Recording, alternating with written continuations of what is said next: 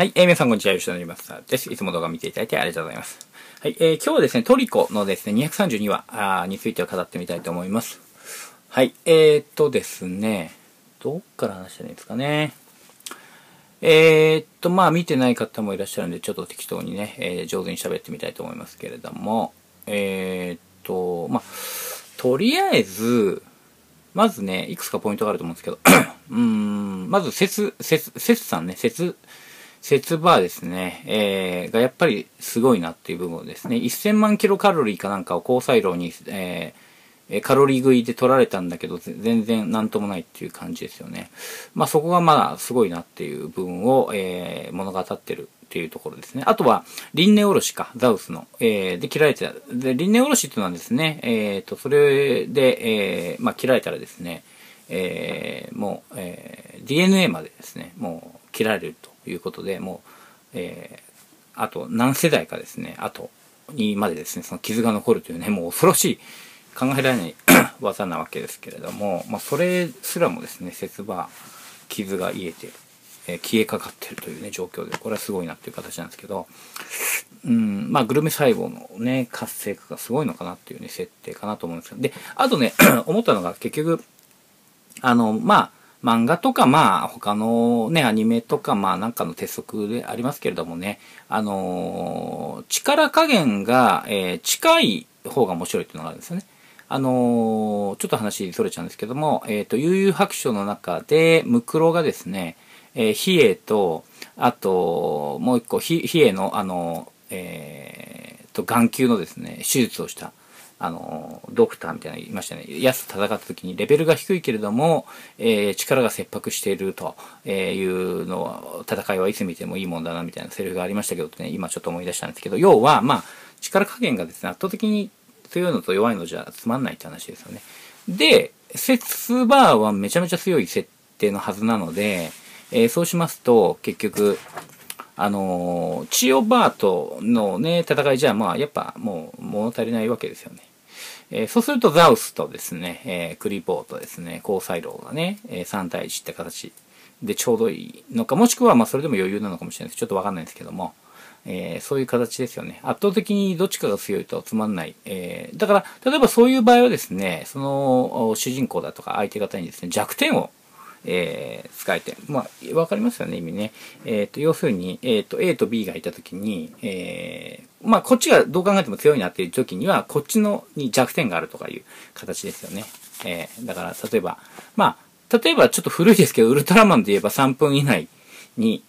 えー、戦いを終わらせないと、ダメだと。あの、宇宙に行かなきゃいけないってなるじゃないですか。あれは細かく言うと、あの、プラズマ核融合装置っていうのはですね、ウルトラの国にあるわけですね。で、それで、えー、まあ、いわゆる人間で言うと、地球で言う太陽みたいなこもんなわけですよね。そのプラズマ核融合装置で、まあ、生きてるわけですけど、それが地球にないと。だから宇宙に行かなきゃいけない。その、なんていうんですかね。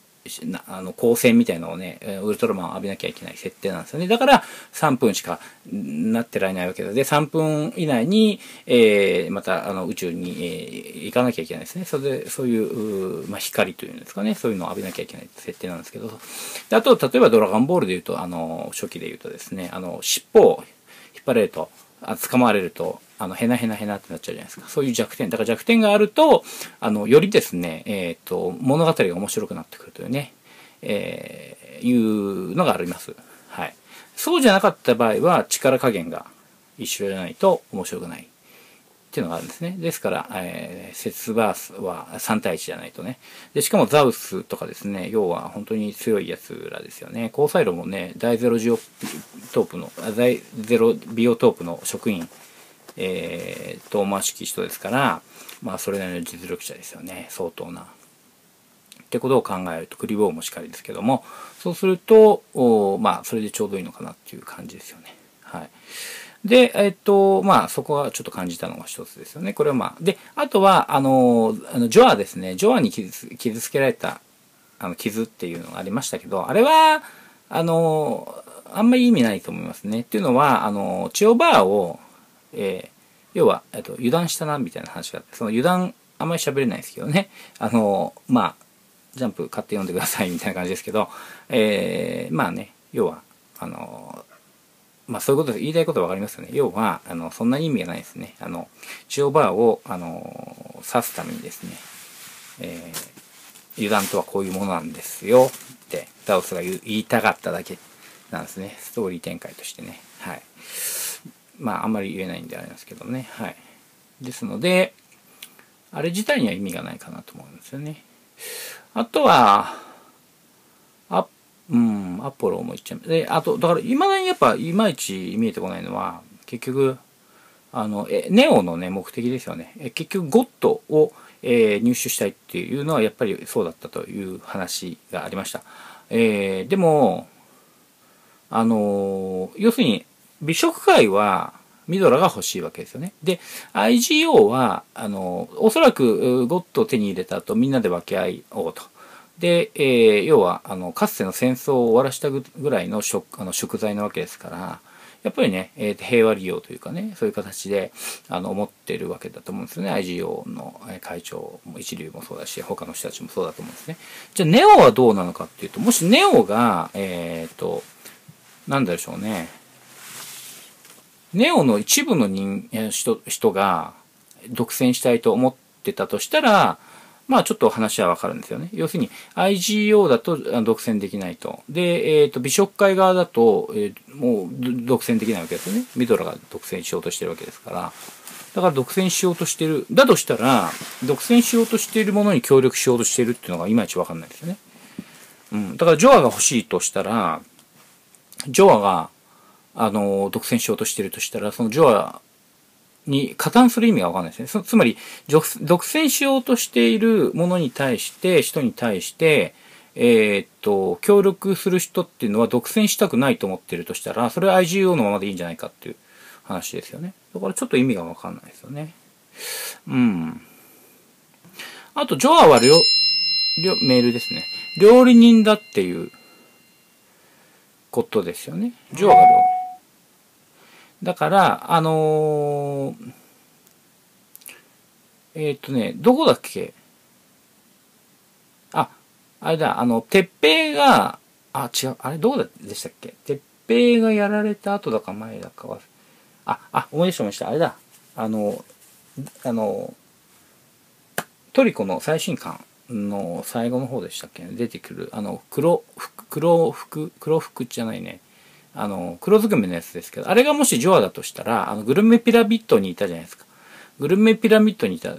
あれが、あの結局、あのなんかだから、要は、ジョアは、あのなんか料理人なんですよね。だからグルメピラミッドでも何かを探していたし、うん、結局、料理人なんですよね、普通のね。うん。そういう気がしましたね。はい。あのただまあ、だから、まず謎が多いですよね。だから、ジョアに操ジョアを操ってるもっと悪いやつがいるのかもしれないし、ネオの方にね。ちょっとそのあたりがちょっとまだね、なんとも言えないんですけれどもね。はい。うん。まあ、いずれにしても、えー、まあ、武闘派というか達人であることは間違いないんですけどね、ザウスにもし傷つけたとしたらね。えー、たださ、その、フェスでね、えー、グルメフェスで、え、かつて優勝したことがある。ただ、そのルール違反で追放されたっていうんですけど、そこはね、どういう理由なのかちょっとね、まだ見えてこないし、えー、まあ、わざとね、見え、見、見してないのでね、わかんない部分だと思うんですけどね。だからどんな料理人かわかんない。つまり、えっ、ー、と、悪い料理人なのかな、いい料理人なのかね、何がわかんないっていうね、えー、感じはします。まあ、いずれにしても、あの、前回か前々回で言った通りですね、あ、違うな。あの、トリコの最新刊の単行本の時に言ったようにですね、えー、彼らがトリコに出てるあの登場人物たちが戦う理由っていうのはね、あの、食べるために戦ってるというね、非常にシンプルなわけですよね。だから、ジョーも単純にそのね、一人の枠には外れないのかなっていうふうにね、思いますね。はい。